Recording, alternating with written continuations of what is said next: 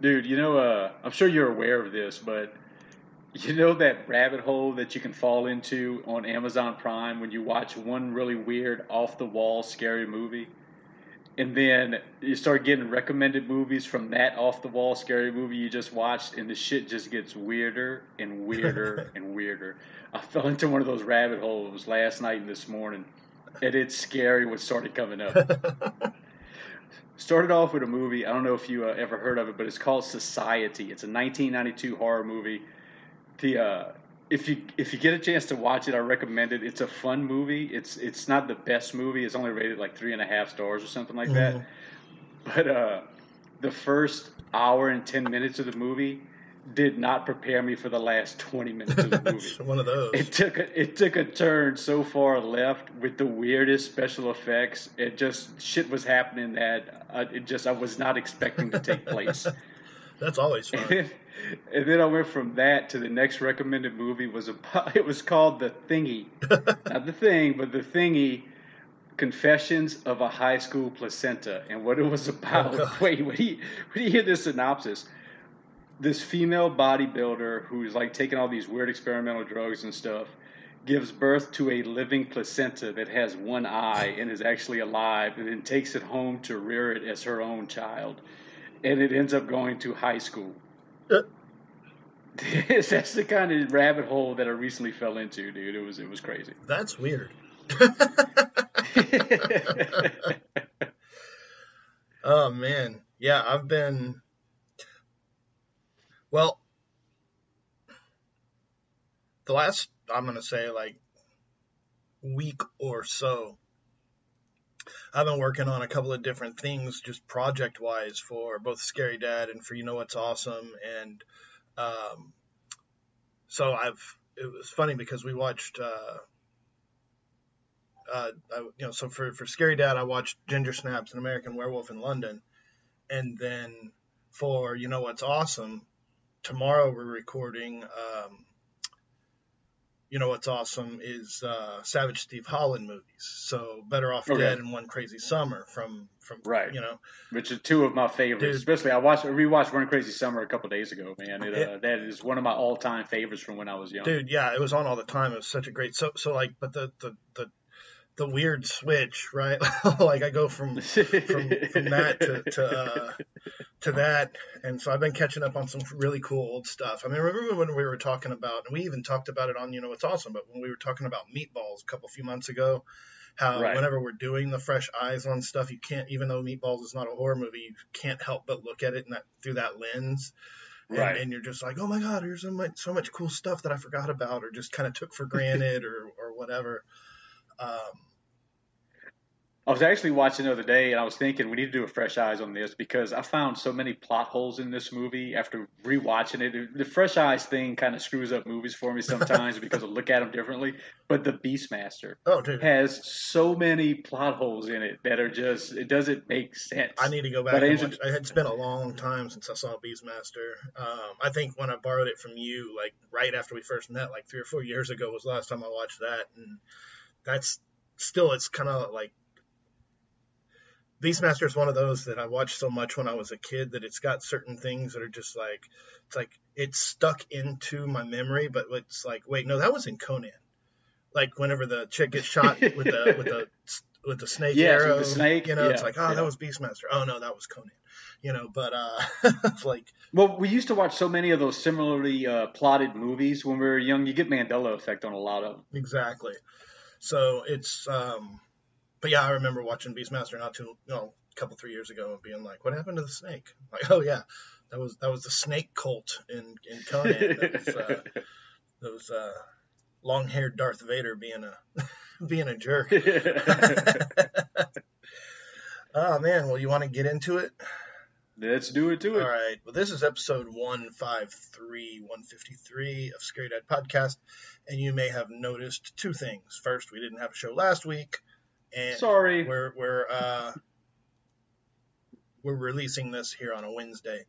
And so what happened is, for the longest time, for, for the first 90% of our uh, podcasting run, Scott and I would get together on like a Tuesday, right? And then we'd record two episodes And those two episodes would be released a week following. So, like, if I recorded on a Tuesday, then I'd have an episode to release Monday, and then this one we recorded would be I'd have like three weeks to mix them up and, and post them. Whereas with the with the moving and the changing schedules, we record on Sunday for a Monday release, and it's just I, I can't do it that fast and still hold the quality. Um, so we moved it to Wednesday so I can have a couple couple few minutes to get this thing uh, done properly.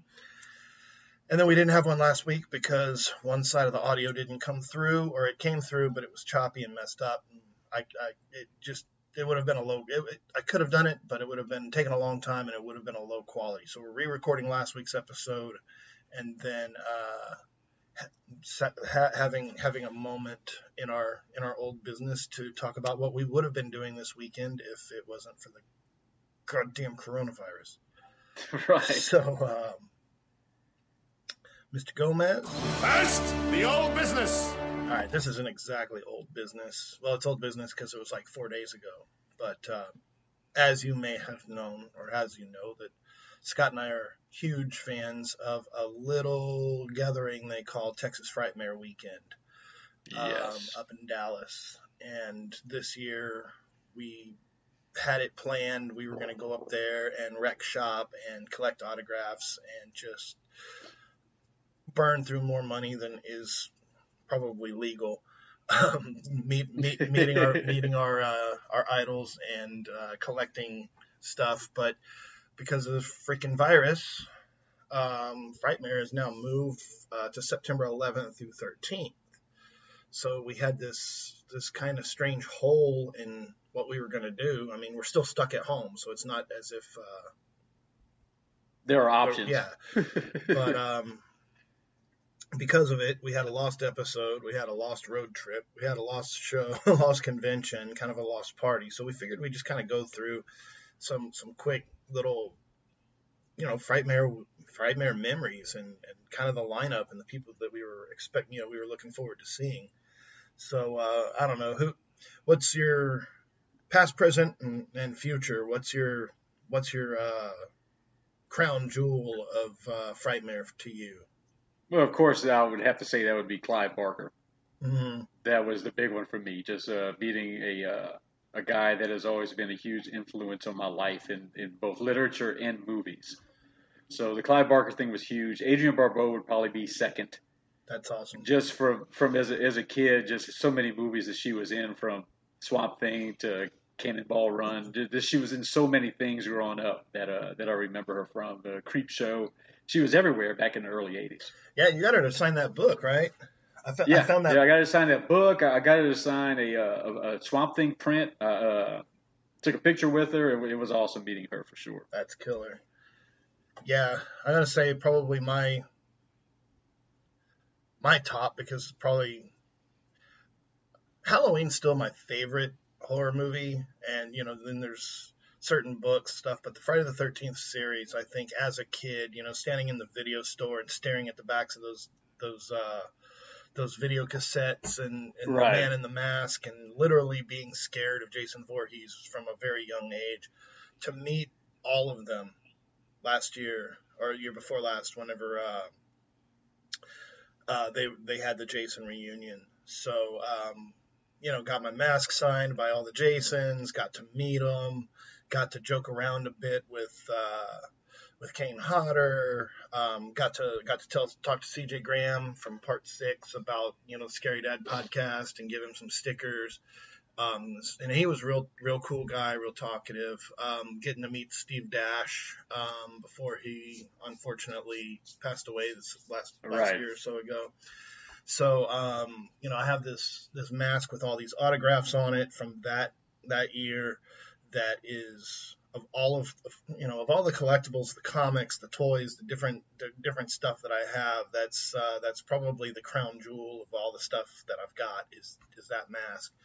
And right. uh, if if um, of of all of the Jasons that are still with us, um, the only one I don't have a signature for is uh, for the the reboot um, in uh, 2009 uh, which is uh, name escapes me, but I'll think of it in a second.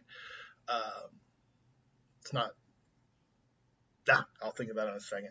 But uh, but yeah, I was looking forward this year. Um, they were they they have a ET reunion with uh, Henry Thomas, Dee Wallace, and Robert McNaughton. So um, that's I mean, because say what you want, ET was scary as hell.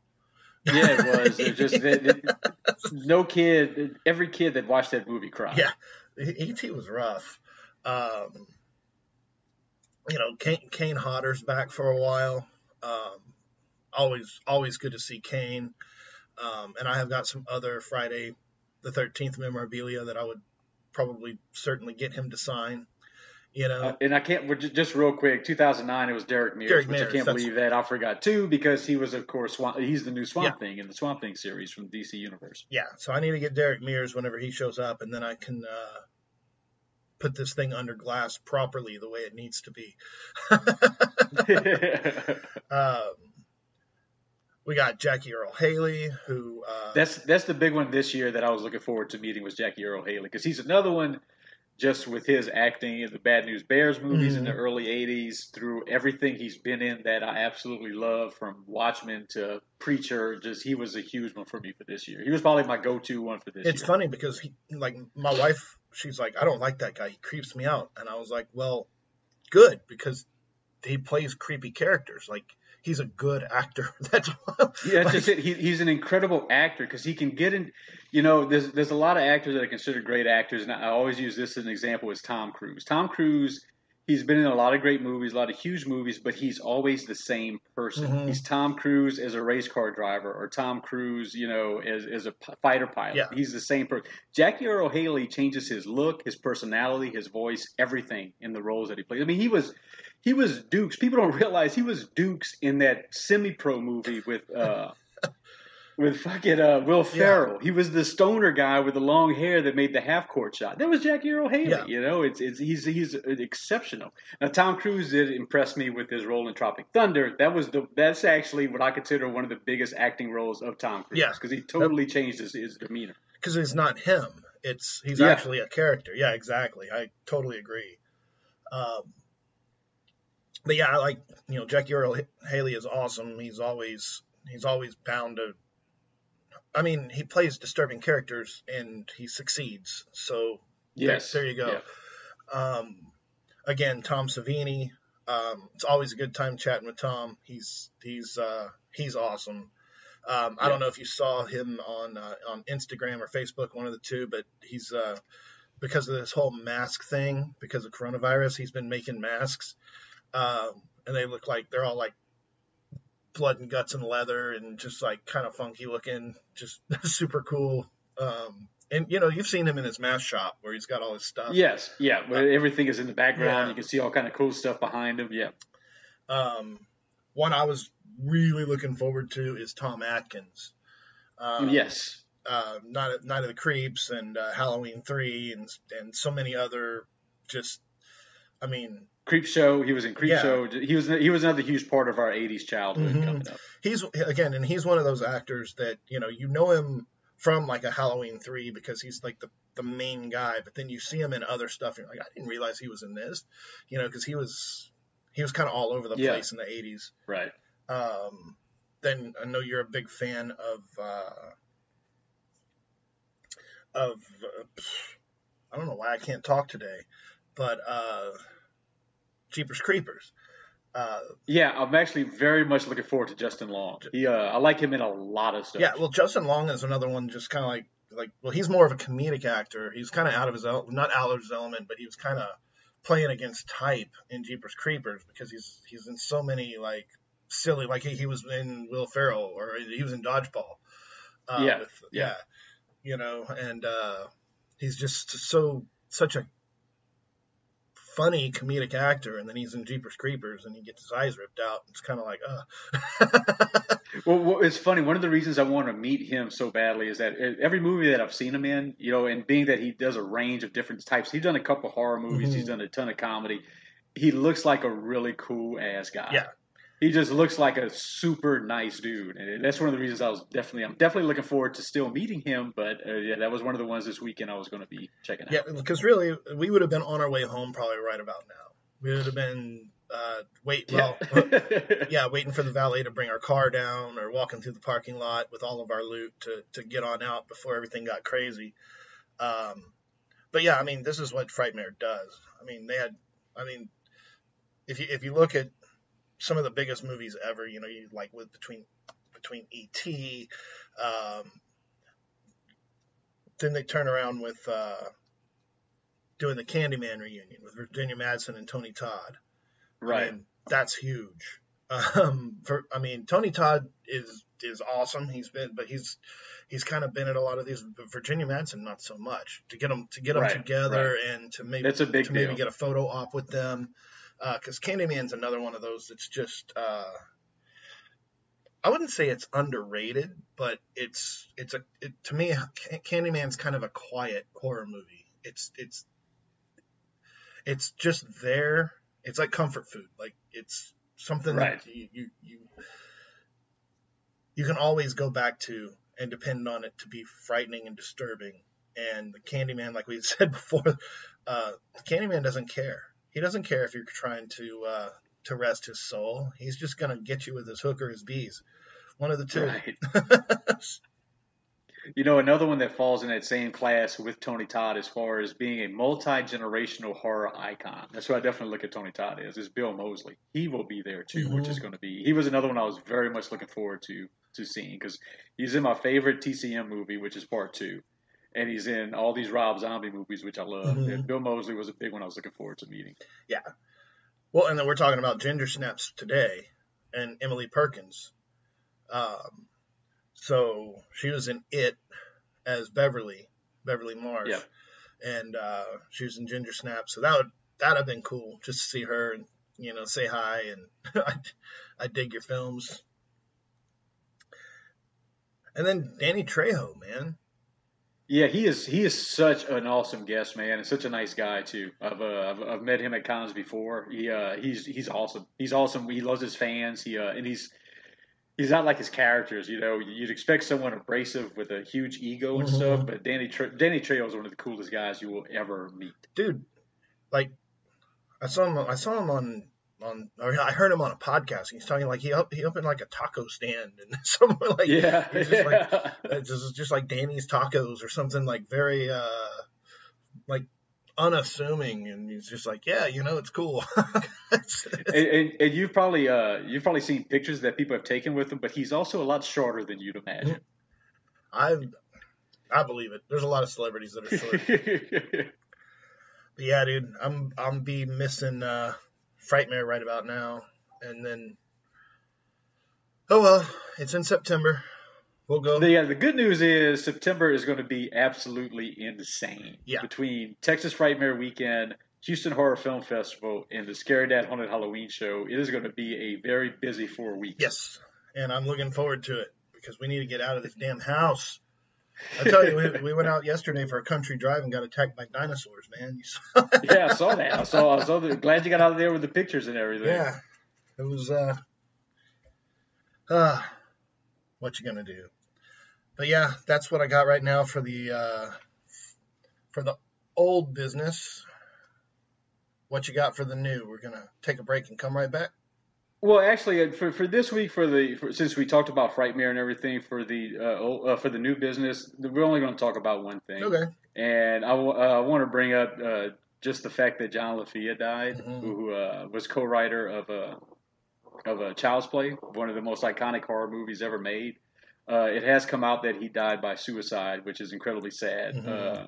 but yeah, he was that was a big big blow to the the horror family. Yeah, for sure definitely sad. There's a there's a lot. It's it sucks because with the coronavirus, every time you see reports of a of somebody who passed, you immediately wonder if it's because they had the virus or something right. else.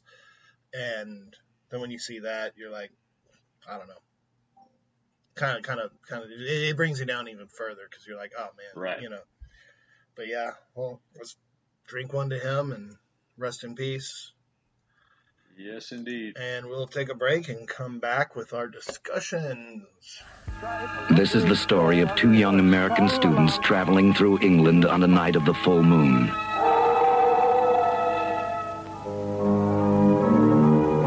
Did you hear that? I heard that. What was it?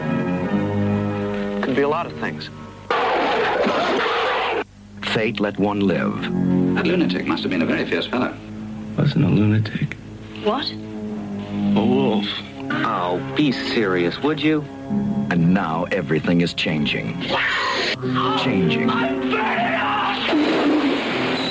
Changing. Good Lord. John Landis, the brilliant young director of Animal House and the Blues Brothers, has turned a classic tale of terror into something new. Something different.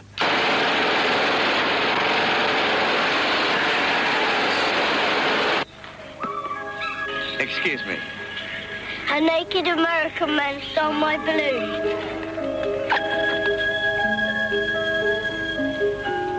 I'm a werewolf.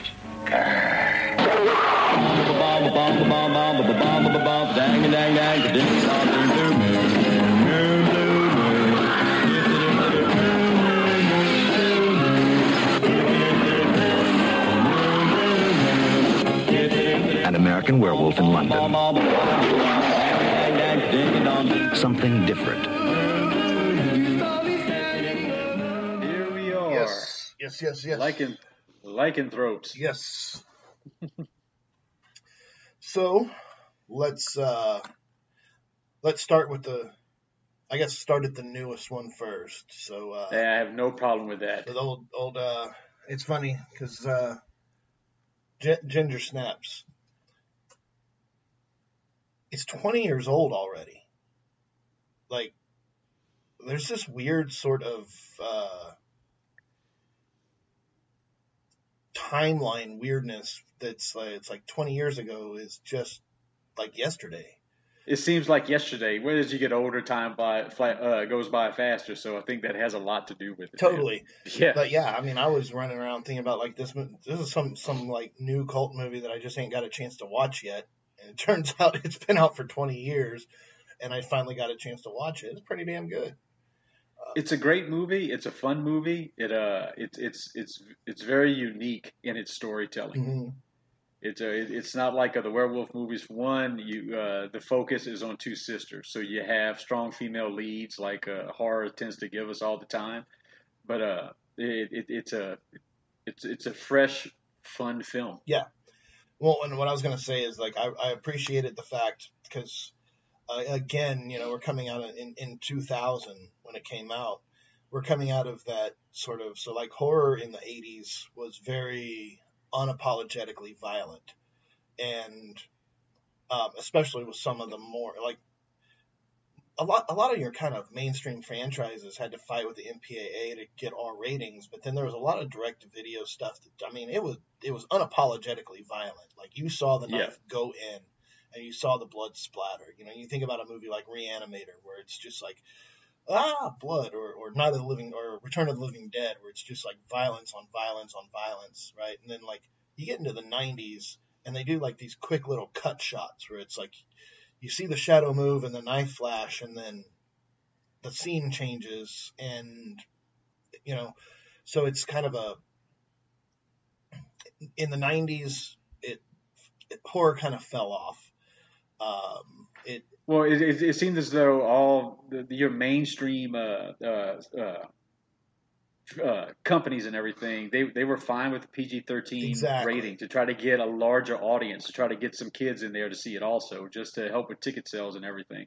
And uh, and all the gory stuff was limited to your independent filmmakers, which at that time we didn't have streaming services, so there wasn't a huge uh, uh, audience for your independent filmmakers all the mainstream distributors took over and, and they just they changed the landscape of horror Mhm. for the 90s it was it was sad yeah and so while you had music getting awesome then you had movies getting getting crappy um, which is which is weird because then you had like some mainstream horror movies like Event Horizon that are some of the scariest movies that have ever been made. Um, yeah, I guess they bombed at the box office, but they're they're cult classics shortly thereafter, you know. Right. But um, that was one thing about Ginger Snaps is like they did not skimp on the blood budget at all. I mean, there was no. there was a significant amount of blood. The violence was with the lights on and kind of in your face. Um, that that without, I mean, it's a 20 year old movie, so it's gonna be spoiled. But like the um, when when when Ginger and and uh, it, I can't remember the guy's name. The the the the drug dealer guy with the cure. Sam. Sam. That was Sam. When when, Yep. when Sam's injured and he's sitting there and Ginger has an opportunity to like make a choice, like here, come get me, leave, let him live, and she's like, no, I'll just kill him real quick and then come get you too. Yeah, I'll get you too. Like, right. It's just like, uh, I mean, it was it was it was not, it was kind of shocking almost. It was just kind of like boom, like oh crap, she got that guy. Like he's not a survivor. He's not going to stumble out Right. into the dawn, you know, hol- you know, clutching his wounds. He's he's got his throat ripped out. That's it, it was a great the character development in the movie was great i love the fact that it started off you know with the, the, the older sister being the protector of the younger sister and then when the older sister starts going through this change all of a sudden the roles are reversed Mhm. Because the the younger sister was an introvert older sister was an extrovert and everything just kind of switched. It uh it, it the movie develops well. It uh it doesn't slow down. Yeah, it never got it keeps boring. a pretty good pace. And it it, it that was another thing that I liked. It was like from the very first scene because the like the opening scene is that that bloody like paw that's been ripped from the dog, like when she finds it in the sandbox, and it's like, okay, this is no, not a child's. This is not a kiddie film. This is not messing around. Like this this thing's gonna get mean. And when Ginger gets attacked, uh, when they're walking home and the wolf uh, wolf gets her, I mean, it's it's reminiscent of of uh, American Werewolf in London. That that attack Yes. scene where I mean, it's just he's just getting shredded, and uh, very good. Up up there, I mean, so much better than a lot of of uh, wolf movies. Um, they didn't they didn't she had a slow change so they didn't have to do like some kind of cheesy um, you know ear hair and eyebrows sort of cgi Right. thing like she she more or less you know she started growing teeth she started growing eyes it's one of the only things i didn't like and you had mentioned it when we were talking off the- yeah yeah is so i was about the- to talk the about tail yeah, just some because you know you have movies like Zombeavers, which it's okay for it to have cheesy jokes and goofy stuff because it kind of starts off that way Mhm. and it go, plays that through the whole movie. With, with Ginger Snaps, it has more of a serious tone, and they try to throw in the cheesy dark humor, and it just it, that didn't work quite as well in this movie. I- the, uh, the the tail thing was just it, it wasn't necessary. Yeah, I I, I agreed with the tail. Um, it just didn't it didn't seem necessary. Um, I don't know if they were trying to just offset the sexiness part of it because she's like starting to to kind of come you know come out of her shell and stuff, so they had to Yeah. kind of tone that down somehow. I don't know, but it just seemed it seemed out of place, like you say. And then they seemed to kind of skimp on the uh, full formed werewolf too. I was a little, I was a little like that. I mean, it looked like a hairless cat almost. I mean, It, it looked like a very large hairless cat that didn't move very well. yeah, that it was like a slow moving zombie that you should be able to get away from pretty easy Yeah. easily because it, its joints don't move very well. It walks like it's on stilts. yeah. So, but other than, I mean, I can forgive that though. I mean, Yeah, it was a good movie all around. It was. I, I enjoyed it a lot. so,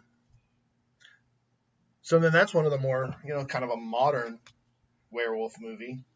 Let's uh, kick it back to what 1982 Yes. to uh, And which you know, you know, at one time, uh, you remember me saying that to me, the uh, you know, there were certain werewolf movies that were top to me, and I never brought American Werewolf in London out there. You know, upon rewatching, that one definitely jumps up there significantly. Yeah, I I have to agree. Um, that, that was one of the things wa- rewatching it.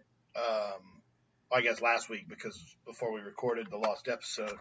But it was one one thing about rewatching American Werewolf is first of all, outside of the special effects and the just kind of general awesomeness of the movie, there are several scenes in that film that are among some of the scariest I think that's ever been filmed.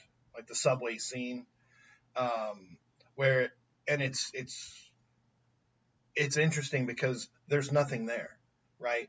Yeah, like, they're able to they're able to give you that fear without the blood. Yeah, um, it's just an empty subway, and the gates are down, and you've got nowhere to go, um, and you're going to circle back around on yourself, but there's nobody there to help you, uh, nobody there to hear you scream, and he's just, and it's. I mean, I think about that. Like I've been in subways like that before, like late at night. Several like uh, uh, ten years ago, eleven years ago, we went to Europe and we had to get um, our plane. So we were in we were in Munich, and we had to fly out like at three in the morning to fly back to Amsterdam to catch our transatlantic flight back to the States. So we had to go through a subway in, in Munich, Germany at like two in the morning and walk down through there um, to walk walk down to the to the tube and then ride the tube out to the airport. And man, it's creepy. I mean, there's some security yeah. guards. Like there's some guys, you know, some cops walking around, but uh, it's empty. Every sound echoes. When you turn the little turnstile, it's all dang, dang, you know. And in the daytime, it's all bustling. There's people everywhere. You know, it's like it's it's a crowded center. But at night, it's it's completely empty, and you have to kind of you start thinking about whether or not there's a werewolf in there. but um, but yeah, and then you know you got the, the special effects. Rick Baker. Yeah, I was gonna say hats off to Rick Baker for the absolutely exceptional job he did with John Landis's vision. It was just the the, the greatest werewolf transformation as a, to this day in movies. Yeah, there, there's there's nothing about that. Well, first of all, um, I had listened to Rick Baker on Joe Rogan, and he was talking about what John Landis had asked him for. He's like, "Hey, you know, I want you to come do the creature effects for uh, for for this movie." And so Rick Baker was like, "Okay, what are my parameters? Like, what's what's your?" And he and he said that um, he, the wolf the wolf walked on all fours. He was not. He didn't stand up. He's he was he was a wolf. That was that was rule number one, and rule number two was the transformation was was lights on, like full full full visibility. You can't hide stuff in the shadows. So they had to come up with those uh, those effects to look real with the lights on, like bright light, full camera, like essentially no camera tricks. It's it's pure magic what you're seeing is because they had to develop right. those the stretchy things. They had to make those those armatures extend and then attach to them and and and move in real in real time um, with his reaction to it. And then and and if you watch it especially if you're watching it with fresh eyes where you're like oh my god. Like and he's screaming the whole time the music's playing but the lights are right bright like it's he's right. not uh, he's not writhing around and snarling. Like you watch his teeth grow in his mouth while he's screaming. It's yeah, ow. um, but it, it rivals the thing as far as special effects go. Oh, certainly. It's just it's it's, it's that just he, Rick Baker did a phenomenal job, and you're looking at you know early '80s. Mm-hmm. It, uh, it, it's that's no CGI. That or those are practical effects. Those are special effects that he, he was able to accomplish that with.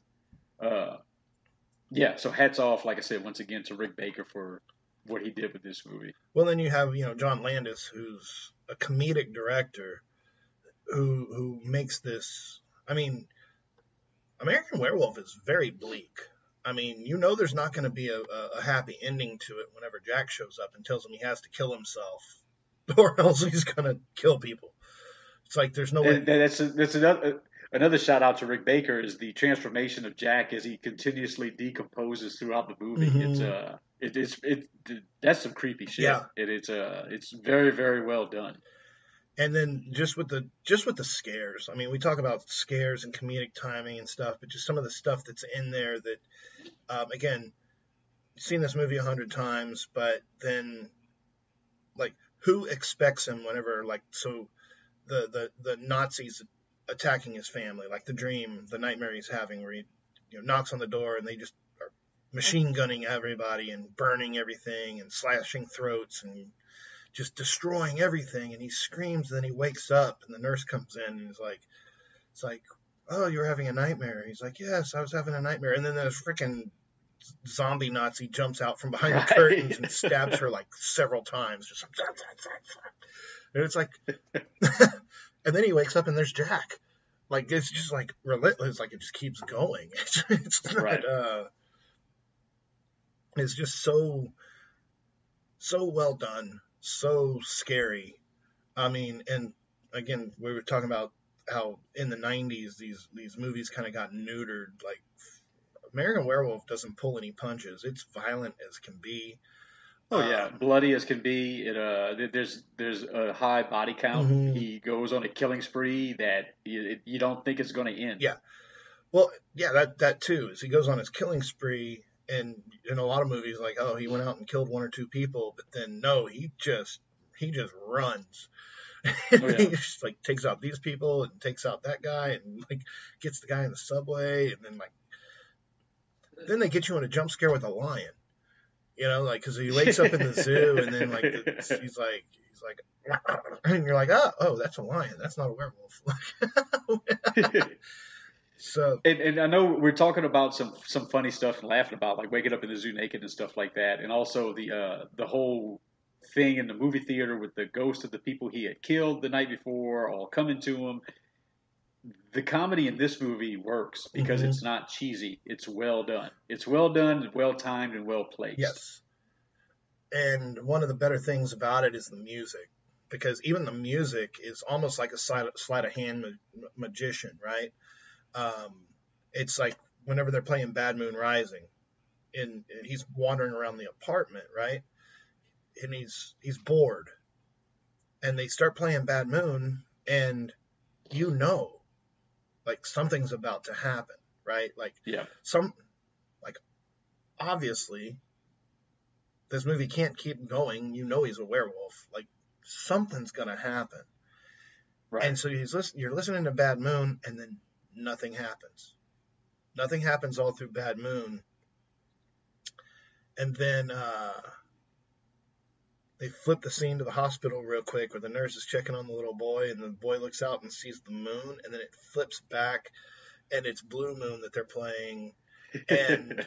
he starts screaming and i can just imagine like the first time you see that in the theater how shocking that would have been right. because you, you're like okay he's gonna he's gonna wolf out again. He's gonna grow some some some ear hair and you know snarl and jump out the window, and then he'll be a uh, werewolf. But I can imagine sitting in the theater in 1980 and watching this like transformation that we just keep talking about because it's so awesome. Um, with the nails and the teeth and the ears and everything's just like right in front of you, and then the, the song's just like it's all. he's just like ah, screaming. Uh, and the transformation is perfectly timed as far as length of time. Mm-hmm. It's not too short to where you feel robbed of anything, and it's not too long to where they drag it out. Yeah. It is it is perfect the way it's set up. You see everything. You know, you don't get bored with it at all. Yeah, I mean, it's just hats off to everybody that made that movie. It's still, I think, you know, as far as werewolf movies go, it's it's the top. Like I don't think I don't think you can beat American Werewolf in London. Many no. have tried, many have failed, and there's a lot of really good werewolf movies out there. But but that I mean for that 30 seconds alone, that wins. But then for some you know for so many of the other scenes in there and the uh, the uh, the showdown in the streets, and as soon as she shoots him, then the credits roll. Just like right. like movie's just over. Like, well, there's no like again, there's no happy ending here. It's right. like there's no cure. There's no there's no injection you can take that will uh, make it to where you didn't just kill like 20 people randomly across the city in a rampage, right? Like,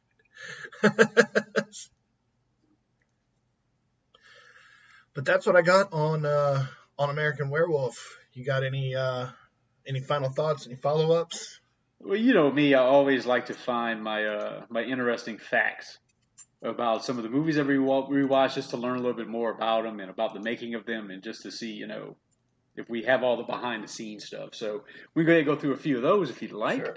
Uh, the script was actually uh, he, John Landis came up with it when he was 18 years old, working as a production assistant in Yugoslavia.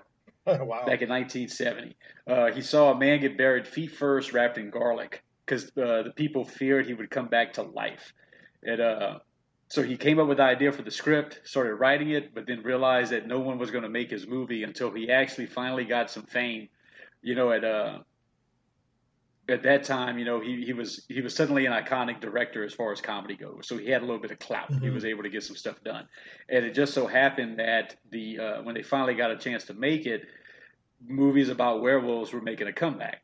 A werewolf movie hadn't been made, you know, in forever, and all of a sudden you had The Howling, you had The Wolfen, you had Teen Wolf, you had so many movies that were coming out that uh that he finally got somebody to, to back him and make his werewolf movie become a a reality, which is pretty cool. Uh, while David Naughton ended up playing the lead in the movie, it was originally looked at possibly getting Dan Aykroyd and John Belushi to play the lead roles. Oh wow!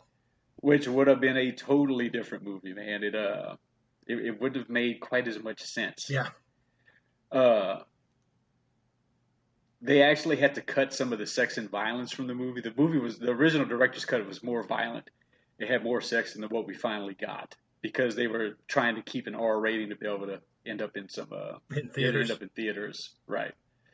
Uh, the scene where, where Naughton wakes up in the zoo, he really was naked in a cage with wolves. Oh wow! He yeah that that the wolves were actually really right there while he was filming that scene, which I thought was a pretty interesting fact. Uh, the scene in, in, in Piccadilly Circus in the square out there. A movie hadn't been filmed in that square in like 15 years. They were not allowing any filming to take place there. So what John Landis did is he uh, he decided to invite the entire police force to a screening of uh, of Blues Brothers, I believe it was. And they loved the movie so much they decided to say, "Hey, let's go ahead and uh, and, and let him film his movie. So they gave him three nights, three hours each night between 1 a.m. and 4 a.m. to be able to uh, to film the movie, and that's how he ended up being able to film it in Piccadilly Square, which which it would have been a different movie without that, because that that whole scene was a uh, was it's an iconic scene of the movie. Right. it is just incredible with all the car wrecks with the uh, double Dutch buses and everything. It is, it's just it's amazing, man. Uh, the the porn movie "See You Next Wednesday" is a uh, the movie that actually played on screen. John Landis wrote it real quick, and they filmed it, and that's actually a movie that he made that they, they put up on screen during the uh, in the adult theater. But what's interesting that I found out that I'd never realized is "See You Next Wednesday" is apparently a uh, a phrase that Landis puts into all of his movies, and there's reference to that uh, that phrase all over the place. Uh, he got it from watching uh, 2001: A Space Odyssey in 1968. Uh, there's a line spoken in that movie. Uh, someone says, "See you next Wednesday." So he has taken that, and uh, it has been in every single movie, whether it be a poster, a billboard, or somebody says it. Even in uh, Michael Jackson's Thriller video that John Landis directed, the cop tells the teens, uh, tell somebody, "Hey, I'll see you next Wednesday." Oh wow! Which I thought was kind of cool. And in the scene where he's running through the tube, there's posters on the wall. See you next Wednesday of, of uh, the uh, orgy movie that's playing in the adult theater. nice. It, it's all over the place. And now that I know that, every movie I watch of his, I'm going to be looking for it somewhere. Of course. It was, it's in it, it's in the Blues Brothers. It's in Trading Places. There's all kinds of movies where he. Uh, the Twilight Zone, the movie. Uh, in the Time Out segment, uh, the German character says, "See you next Wednesday" in German. Wow. It uh, it, yeah, it, it, I thought that was a neat little tidbit to find out about his film. But that's what I got, man. Oh, and also another thing, Rick Baker, the first ever Oscar for makeup artistry was that year. Oh, wow. And Rick Baker won. The, Rick Baker won the first ever actual Oscar for makeup artistry, which was well deserved. Absolutely, dude. Rick Baker's amazing. He's so cool. Uh, Yeah. he he's just so, so many of the things that he's done. I mean, from from Star Wars all the way to American Werewolf to I mean, just so many many movies that he's done. Um, Rick Baker's the man. Um, we need we need to do a special episode just on Rick. But uh, cool, man. Well, this has been good talk. Um, Definitely. missing Frightmare, man. I, I really am. I missed all the beers and the chilling, and the wife is going to go with us and see the see how awesome it was this time, and she couldn't make it. So, uh, And of course, the, the, the biggest thing to miss about Texas Frightmare is just the experience itself, with just all the people and all the fellow fans, and just the excitement and buzz, and it, it's it's a it's like a kid in a candy store. yes, very much so. Cool, man. Well, let's go ahead and close this one down. It's been episode 153, the lost episode about werewolves and our lost, lost road trip. And uh, we've moved things to Wednesdays now. Uh, I don't know if it'll stay Wednesday forever, but for the foreseeable future. Um, I've heard that in podcast world, it really doesn't matter as long as it's consistent, same day each week. So Right. ha- having a move for for the reason, and then if uh, if you just don't have enough of listening to me talk um, on Scary Dad every Wednesday, you can hit up you know what's awesome podcast, and we release every Tuesday. Um, talking about stuff that is not necessarily horror related, but somehow or another, two horror fans, we just kind of there's always a reference somewhere. it just it just happens. Uh, but yeah, we we are we we're uh, starting starting to kind of feel the uh, we're we're start starting to find our pace here. So we're going to be starting to have some guests on. Some people have reached out and want to talk about things that are awesome, and um, I think we're we're about to start doing that. So. Uh, that's an, that's another fun show every Tuesdays. You know what's awesome? It's on all of the uh, podcast networks. And yeah, until next week, let's keep it scary. Later.